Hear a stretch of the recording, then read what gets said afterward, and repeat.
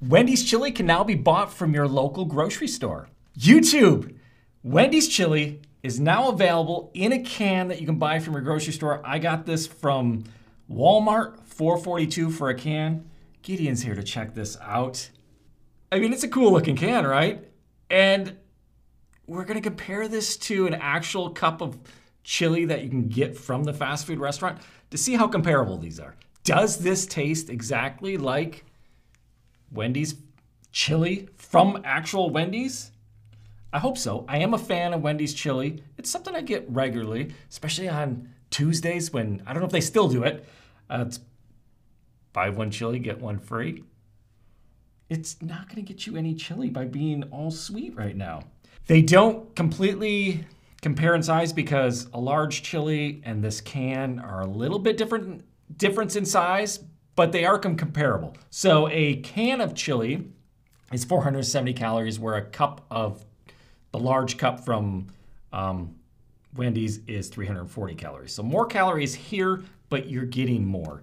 And protein in this is 29 grams of protein, where a cup of chili from Wendy's is 22 grams of protein. What is your deal today? You want some chili? So I'm gonna go heat this, gonna go heat this up.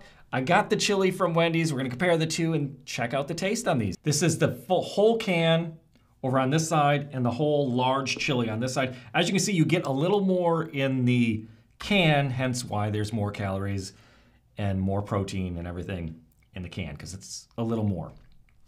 You can tell just by looking at them, clearly there's a difference, um, especially in the beans. A lot of lighter beans. What are those, like probably the great northern beans and kidney beans in there? Where you, you have them over here, just a different look. Our canned chili versus the store chili. So obviously a difference in looks. I said 442 for your can, 391 for a large chili, at least where I'm at. But let's see, how do they taste? You can cook this in stove over the stovetop or it says in a microwave for a minute and a half. Let's go with the actual fast food restaurant chili first.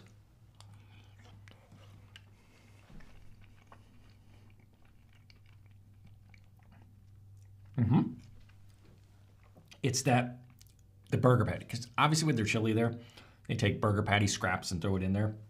That taste stands out in it, will you get that taste over here? I can already see this is a little runnier.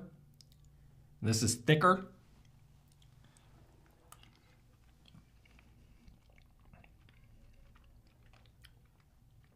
Immediately I can tell there's a difference in taste, but how much? So I'm just looking at the ingredients. Number one ingredient is beef, and the second is the tomato puree. And I think that's what's standing out is that tomato puree.